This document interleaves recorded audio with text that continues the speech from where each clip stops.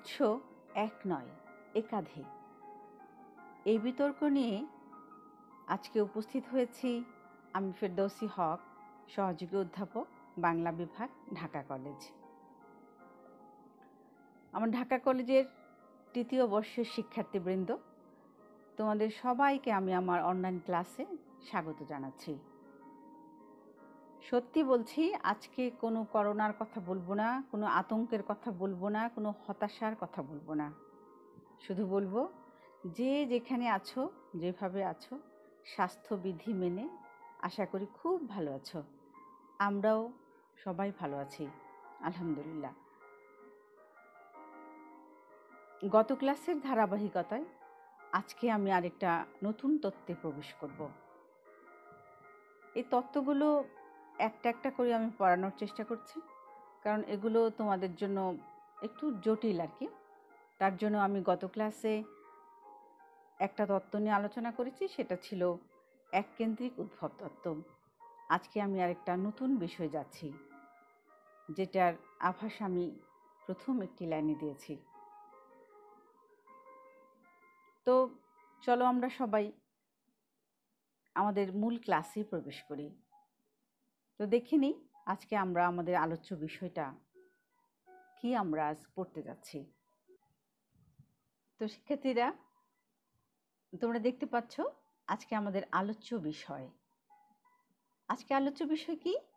বহুমুখী উদ্ভব তত্ত্ব। যেটার ইংরেজি টার্ম থিওরি অফ পলিজেনেসিস আচ্ছা আলোচ্য বিষয়টা নামটা শুনেই কিন্তু মোটামুটি একটু আভাস করা যাচ্ছে যে বিষয়টা কি হতে পারে। বহুমুখী উদ্ভব তত্ত্ব। মানে একটা জিনিস উদ্ভব হয়েছে বিভিন্ন দিক থেকে যেন এটা এসছে। আমরা বিগত ক্লাসে যেটা পড়েছিলাম, সেটা কি ছিল? সেটা ছিল এক কেন্দ্রিক উদ্ভব তত্ত্ব। অর্থাৎ একটা কেন্দ্র থেকে সমস্ত লোককাহিনীর উদ্ভব। অর্থাৎ বলা হয়েছিল সেখানে সমস্ত লোককাহিনীগুলো একটি উৎস থেকে সৃষ্টি হয়েছে এবং সেটা বলেছিল কে? মনে পড়েছে? সেটা বলেছিল থিওডোর বেনফ্রেম তিনি বলেছিলেন, সমস্ত লোককাহিনীগুলো একটি উৎস থেকে উৎপন্ন হয়েছে বা সৃষ্টি হয়েছে এবং সে উৎসটা হচ্ছে ভারতবর্ষ। আর আজকের আমাদের আলোচ্য বিষয় হচ্ছে বহুমুখী উদ্ভব তত্ত্ব। অর্থাৎ সে এক কেন্দ্রিক উদ্ভব তত্ত্বের ঠিক বিপরীত। ঠিক না? বুঝাই তো যাচ্ছে। তাহলে এই আলোচ্য বিষয়টা নিয়েই আজকে আমরা আলোচনা করব। নানান বিজ্ঞজনের তর্ক বিতর্কগুলো তুলে ধরব এবং কে এটা প্রমাণ করতে চেয়েছেন এবং কীভাবে করেছেন, কী যুক্তি দিয়েছেন সেগুলি হচ্ছে আমাদের আজকের আলোচনার বিষয়। তাহলে আমরা এবার দেখি যে বহুমুখী উদ্ভব তত্ত্ব আসলে আসলে জিনিসটা কি?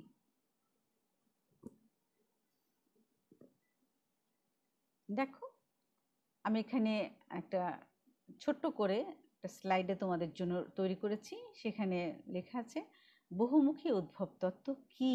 অর্থাৎ কি আমরা এটাকে বলব?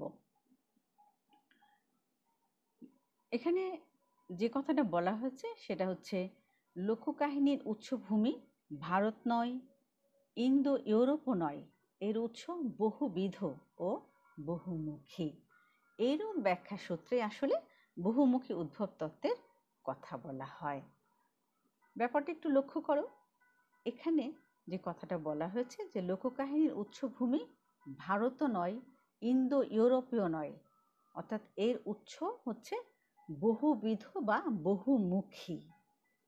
এইরূপ একটা ব্যাখ্যা এই লোককলা বা লোকসাহিত্যকে নিয়ে দেওয়া হয়েছিল।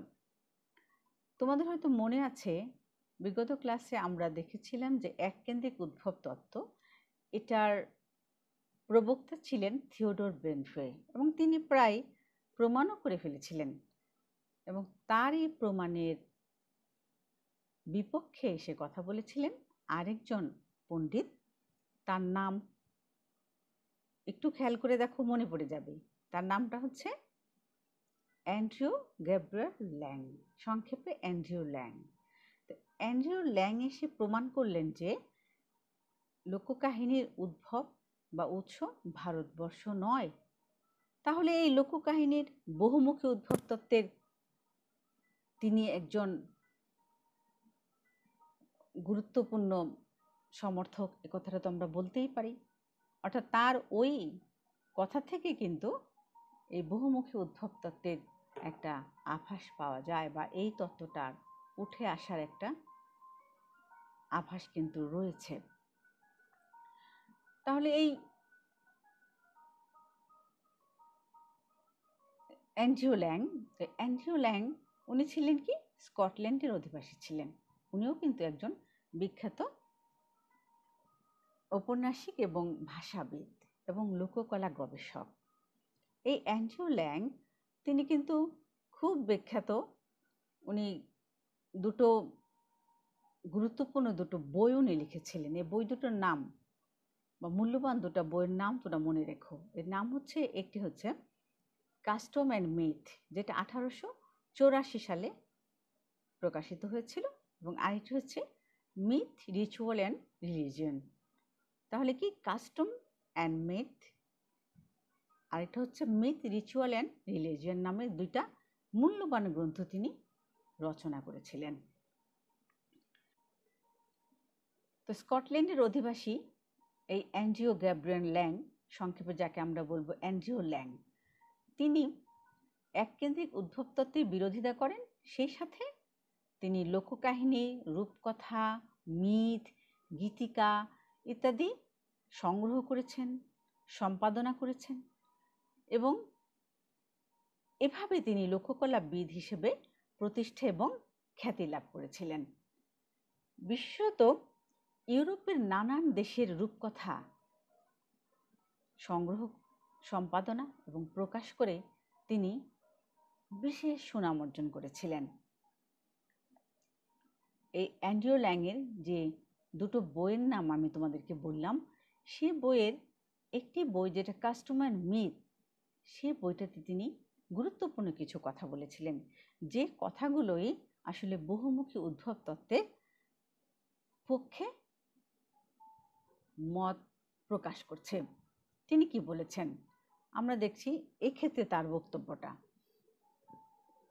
এই অ্যান্ড্রিও গ্যাব্রিয়েল ল্যাং তার মতে উনি বলছেন, দেখো I have frequently set that giving a similar state of taste and fancy similar beliefs similar circumstances in a similar tale might conceivably be independently evolved in regions remote from each other. এই সংজ্ঞাটা উনি তার বইয়ে ইংরেজিতে দিয়েছিলেন, যেটাকে যদি আমরা বাংলা করি তাহলে অর্থ দাঁড়াবে এরকম যে দূরবর্তী ও ভিন্ন দেশের হলেও সভ্যতার সমস্তরে লোককাহিনী কিন্তু স্বাধীনভাবেই গড়ে ওঠে। কারণ বিশ্বাস, সংস্কার সব দেশে কিন্তু আসলে সমানভাবে জন্ম লাভ করে। ওনার এই কথাটার আরও একটা গুরুত্বপূর্ণ অর্থ এরকম হয়। উনি বলতে চেয়েছেন যে, বিশেষত ভৌগোলিক পরিবেশ, অর্থনৈতিক এবং সামাজিক ব্যবস্থাপনায় যদি মিল থাকে, তাহলে তার মতে কেবল লোককাহিনী কেন? লোককলার অন্যান্য শাখা, অর্থাৎ প্রবাদ, ধাঁধা, ছড়া, গীতিকা, এসব নানান ক্ষেত্রেও অভিন্ন ধর্ম, গুণ এবং প্রকৃতি প্রকাশ প্রকাশ পেতে পারে। এই অ্যান্ড্রিউ ল্যাং যে কথাটা বলেছেন, এটাকে যদি আমরা আরও বিস্তারিতভাবে বলি, তাহলে তিনি বলতে চেয়েছেন যে আসলে আমরা তো মানুষ। মানুষের কিছু কিছু জিনিস আছে, মৌলিক বিষয় আছে, যে ক্ষেত্রে সবাই কিন্তু মোটামুটি অনুভূতির দিক থেকে এক। দুঃখ পেলে আমরা যেমন কাঁদি, পৃথিবীর যে কোনো দেশে সবাই কিন্তু দুঃখ পেলে কাঁদবে। সন্তানের প্রতি স্নেহ, মায়া, মমতা, অনুভূতি সবারই কিন্তু এক। মৃত্যু হলে আপনজনের সবারই কষ্ট হয়, সবারই কান্না হয়। প্রকৃতির প্রতি ভালোবাসা সবারই আছে। এই যে কতগুলো মৌলিক অনুভূতি আছে, এই অনুভূতিগুলোর ক্ষেত্রে কিন্তু পৃথিবীর যে দেশেই যাই না কেন, সবার সাথে কিন্তু আমাদের একটা অনুভূতিগত মিল আছেই। আর যেহেতু অনুভূতিগত মিল আছে, অতএব আমাদের ধ্যান ধারণা, আমাদের দর্শন আমাদের সাহিত্যের উপরে সেই প্রভাবটাই তো পড়বে। যে দেশেই বসে লিখি না কেন। তাই তিনি বলতে চেয়েছেন যে, এই ভৌগোলিক, সামাজিক, অর্থনৈতিক দিক থেকে যদি মিল থাকে, তাহলে মানুষের অনুভূতিরও মিল থাকবে। তাহলে লোকসাহিত্য শুধু ভারতবর্ষে উৎপন্ন হবে, আমাদেরই শুধু অনুভূতি আছে, অন্য দেশের কারও অনুভূতি নেই, এটা তো হতে পারে না। তাই তিনি বলতে চেয়েছেন যে, ভারতবর্ষেই শুধু কাহিনীর উৎপন্ন হয়েছে আর সেটা অন্য অন্য দেশ নকল করেছে বা তারা সেটা নিয়েছে, সেটা তো নাও হতে পারে। অতএব এই ব্যাপারে তার আরেকটি কথা কিন্তু প্রণিধানযোগ্য।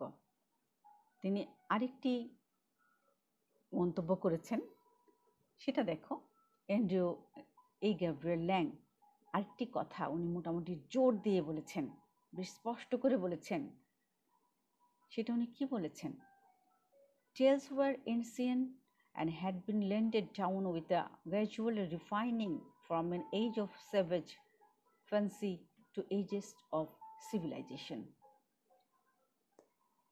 এই যে কথাটা তিনি বললেন, এই কথাটার অর্থ কি দাঁড়াল উনি বলতে চাচ্ছেন যে লোককাহিনী আসলে বেশ প্রাচীন যুগে যুগে ক্রমান্বয়ে সংস্কারের মধ্য দিয়ে একটা বর্বরতার যুগ অতিক্রম করে সভ্যতার যুগে এসে পৌঁছেছে।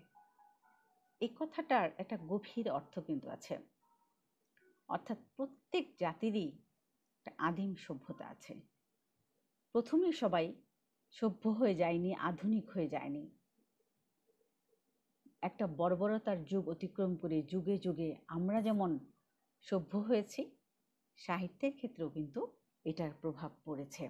তা তিনি বলছেন tales for ancient and had been landed down with a gradual refining ওটা ধীরে ধীরে পরিশোধিত হয়েছে এই গল্পগুলো। এগুলো অনেক প্রাচীন, কিন্তু ধীরে ধীরে এগুলো রিফাইন হয়েছে ফ্রম এজ অফ সেভেস ফ্যান্সির এজেস অফ সিভিলাইজেশন ধীরে ধীরে এই সভ্যতার যুগে এই সাহিত্যগুলো এসেছে। অতএব আমাদের পরিবর্তনের সাথে সাথে সাহিত্যও পরিবর্তন হয়েছে। তাই সব দেশের সাহিত্যের সাথে অনুভূতিগত মিল আমরা লক্ষ্য করি। এই কথাটাই এনজিও ল্যাং আসলে তার এই দুটো বইয়ের মধ্যে দুটো ভাষায় জোর দিয়ে উনি বলেছেন। এখন আমরা আসি যে তার এই এনজিও ল্যাংয়ের এই কথার সাথে কিন্তু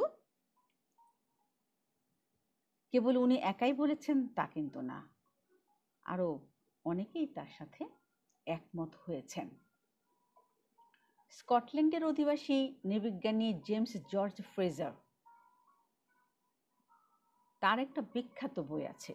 সে বইটা হচ্ছে দ্য গোল্ডেন বো। এখানে তিনি পুরাণ তত্ত্ব ও তুলনামূলক ধর্ম সম্পর্কে আলোচনা করেছেন। তিনি সেখানে দেখাবার চেষ্টা করেছেন যে পৃথিবীর সব জাতি একই সময় না হলেও সভ্যতার এক একটি স্তর অতিক্রম করেছে। তার সাথে স্কটল্যান্ডের অপর একজন পণ্ডিত, উনি হচ্ছে জন আর্ম ম্যাকুলচ। এই ম্যাকুলচও কিন্তু এই বহুমুখী উদ্ভব তত্ত্বে বিশ্বাসী ছিলেন। তিনিও এই অ্যাঞ্জিও ল্যাং এবং জর্জ ফ্রেজার তার সাথে একমত ছিলেন। এই ম্যাকুলজ বিশ্বের নানান দেশের প্রাচীন লোককাহিনীর সাদৃশ্যবাচক বহু ঘটনা ও উপাদান বিশ্লেষণ করে গ্রন্থ শেষে উনি একটা উপসংহারে কিন্তু এসেছেন। এবং সেই উপসংহারটা যদি তোমরা দেখো, তাহলে দেখবে যে ওনার কথার সাথে এনজিও ল্যাংয়ের অর্থাৎ বহুমুখী উদ্ভব তত্ত্বের এই তর্ক বিতর্কের মধ্যে তারও কিন্তু সমর্থন আছে। তাহলে আমরা দেখি যে তিনি কি বলেছেন। দেখো, এখানে আমি আরেকটা স্লাইড তোমাদের সামনে তুলে ধরছি।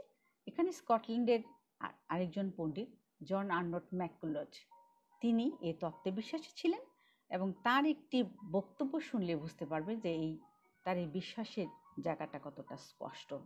তিনি কি বলেছেন? তিনি বলেছেন in fact we are more and more driven to the conclusion that there never has been an any centre for story invention but there were many centres in fact উনি বলছে, আসলে যত কথাই বলি না কেন, এই যে লোককাহিনীগুলো, বিভিন্ন শাখার কথাগুলো উনি বলেছেন, সেগুলো আসলে শুধু একটি উৎস থেকে উৎপন্ন হয়নি। আলটিমেটলি এগুলোর অনেক, একটা সেন্টার না, এগুলোর মেইনই সেন্টার আসলে রয়েছে। অর্থাৎ তিনিও তাহলে এই বহুমুখী উদ্ভব তত্ত্বের সাথে একমত। তাহলে এই পর্যন্ত আলোচনায় আমরা কি দেখলাম? যে বহুমুখী উদ্ভব তত্ত্বের মূল কথা কি ছিল? মূল কথা ছিল যে লোককাহিনী বা লোককথা বা লোক সাহিত্য বা লোককলা, যাই বলি না কেন, এগুলার উৎস ভারতবর্ষ নয় বা শুধু ইন্দো ইউরোপীয় নয়। এই ইন্দো ইউরোপীয়র কথা কিন্তু বলেছিল গ্রিম ভাতৃদ্বয়। গ্রিম ভাতৃদ্বয়ের নাম তোমরা শুনেছ? সে বলেছিল যে ইন্দো ইউরোপের নানান মিথ বা পুরাণ ভেঙেই এই লোককাহিনীগুলো সৃষ্টি হয়েছে এবং সেগুলো বিভিন্ন দেশে, বিভিন্ন এই ইন্দো ইউরোপীয় জাতি যেখানে যেখানে গেছে, সেখানে সেখানে এই কাহিনীগুলো গেছে। তাই এই বহুমুখী উদ্ভব তত্ত্বের শুরুতেই অ্যান্ড্রিও ল্যাংয়ের বিতর্ক থেকে যে কথাটা উঠে আসছে, সেটা হচ্ছে যে লোককাহিনীর উৎস ভারতবর্ষ নয় ইন্দো ইউরোপও নয়। এটা বহুমুখী এবং বহুবিধ উৎস থেকেই এসছে। এখন এ আলোচনার সত্যতা যাচাইয়ের জন্য বা বিতর্কের ক্ষেত্রে আমরা কিন্তু আসলে আরও কিছু উদাহরণ দিতে পারি। যেমন ধরো, লোকসাহিত্যের তো অনেকগুলো শাখা আছে। অনেকগুলো শাখার কথা আমরা আগে আলোচনা করে ফেলেছি। সে শাখাগুলো কি ছিল?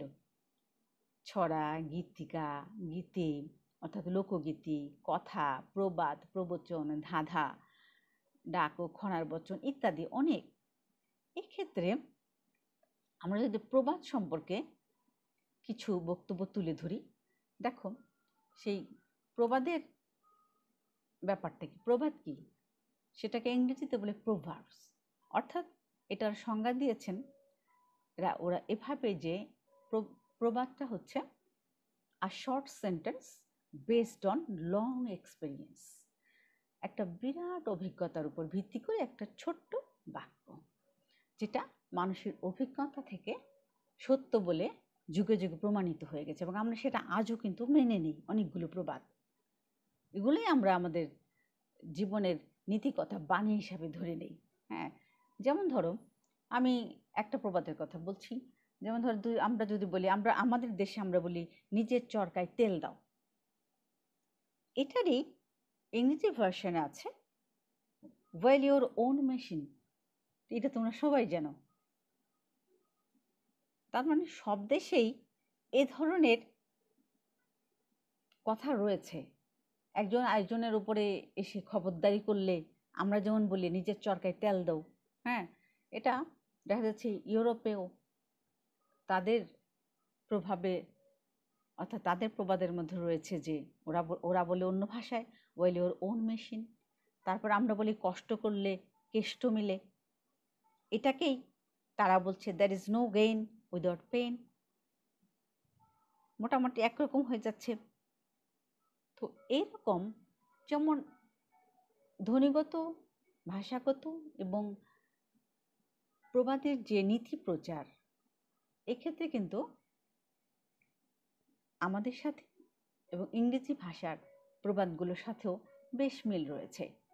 যেমন time and tide wait for none এটার কথা তোমরা শুনেছ।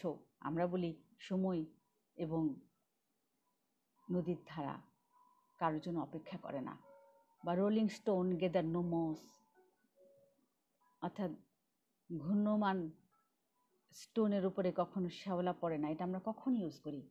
যে একটা অ্যাক্টিভ লোক অ্যাক্টিভ জিনিসের প্রতি উপরে কখনোই জং ধরে না।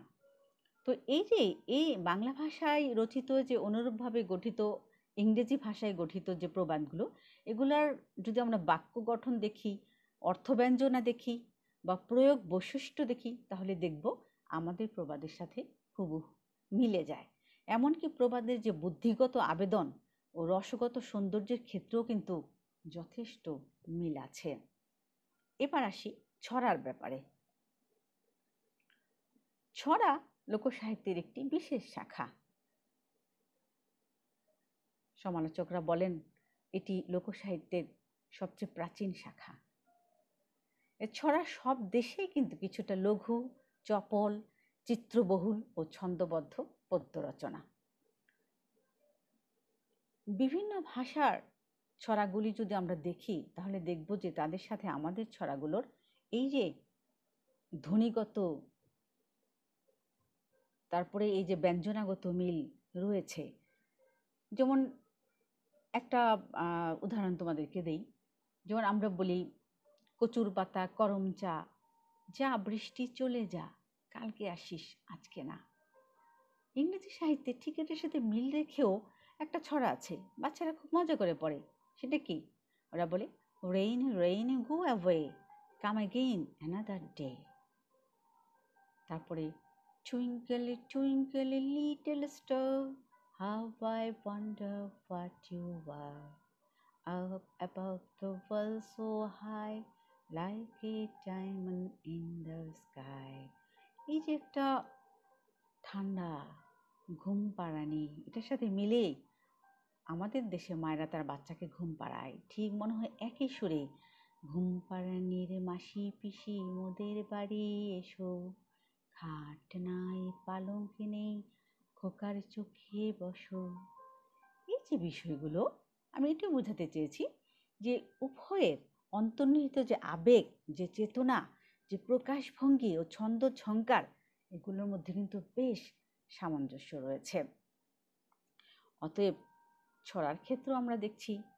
ধ্বনিগত মিল রয়েছে ইউরোপের সাহিত্যের সাথে। ধাঁধার ক্ষেত্রে এরকম প্রচুর মিল আছে।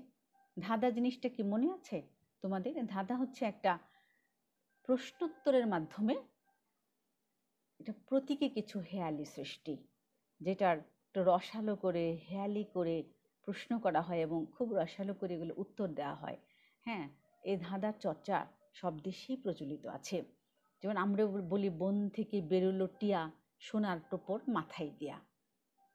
এটাকেই দেখা যাচ্ছে যে আরেকটা অন্য ভাষায় আমরা যদি দেখি, তাহলে তারা বলছে what rise for ever and rest never এটার আনসার হচ্ছে উইন অর্থাৎ বাতাস।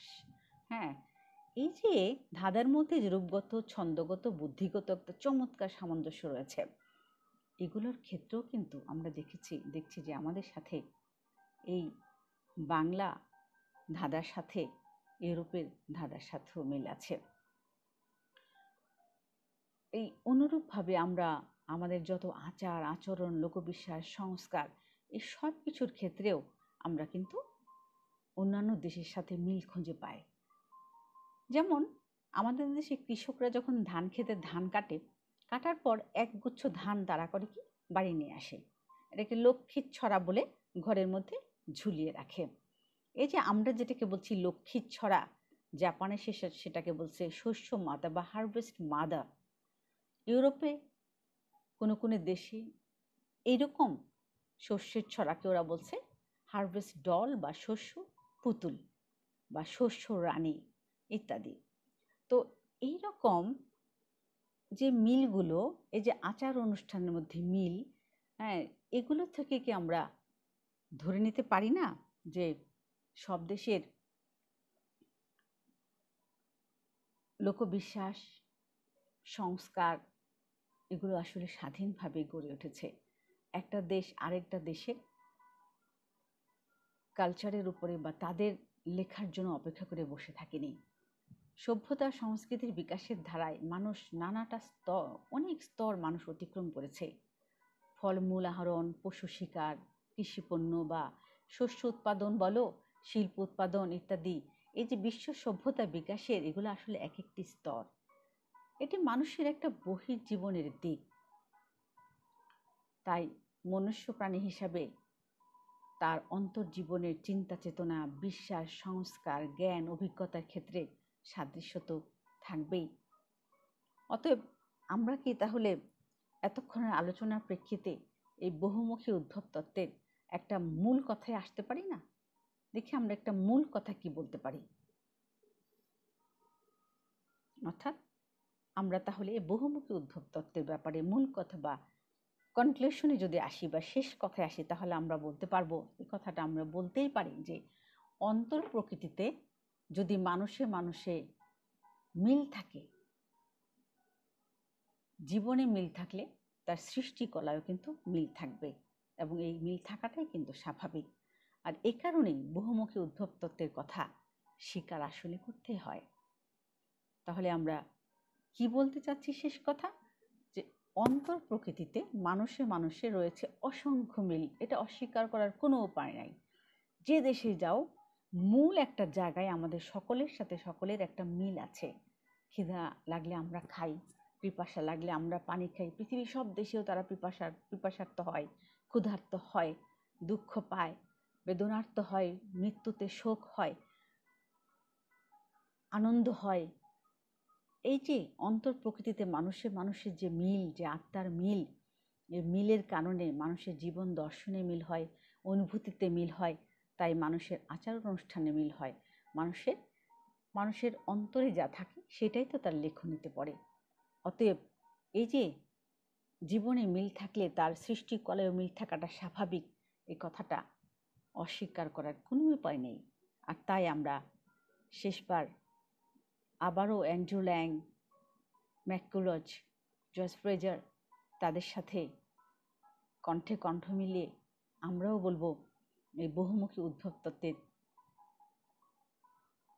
কথা আমরাও স্বীকার করে নিব এবং এই উদ্ভব তত্ত্বটাকে আমরা মেনে নিব। তাহলে আজ আমরা বহুমুখী উদ্ভব তত্ত্বের একটি বিস্তারিত আলোচনা করলাম। সংক্ষিপ্ত অথচ বিস্তারিত। আমার মনে হয় তোমাদের বুঝতে আর তেমন কোনো অসুবিধা হয়নি। অতএব এক কথায় যদি বলি, এককেন্দ্রিক উদ্ভব তত্ত্ব এবং বহুমুখী উদ্ভব তত্ত্ব ঠিক বিপরীত। এই বিপরীত উদ্ভব তত্ত্বের ব্যাপারে লোককলাবিদগণ যে তর্ক বিতর্ক করেছেন, যে যুক্তি দিয়েছেন যে, এবং অবশেষে যে সমাধানে এসেছেন সেটাই আমরা, অর্থাৎ আমি তোমাদের সামনে তুলে ধরেছি। এবং আরও বিস্তারিত জানতে গেলে তোমরা এটার উপরে বেশ কিছু বই আছে। আমি প্রথম দিন অনেকগুলো বইয়ের নাম দিয়েছি। সেখানে এই তত্ত্বগুলার সমাধান পাবে। আরও অনেক বিস্তারিতভাবে আলোচনা থাকবে। অতএব আমরা আজকে তোমাদেরকে লৌকিক ধন্যবাদ জানিয়ে আমাদের ক্লাস এখানে শেষ করছি। আগামী ক্লাসে আরেকটি নতুন বিষয় নিয়ে আমি তোমাদের সামনে হাজির হব। ইনশাল্লাহ ততদিন পর্যন্ত ভালো থেকো, সুস্থ থেকো, স্বাস্থ্যবিধি মেনে নিরাপদে থেকো। আল্লাহ হাফেজ।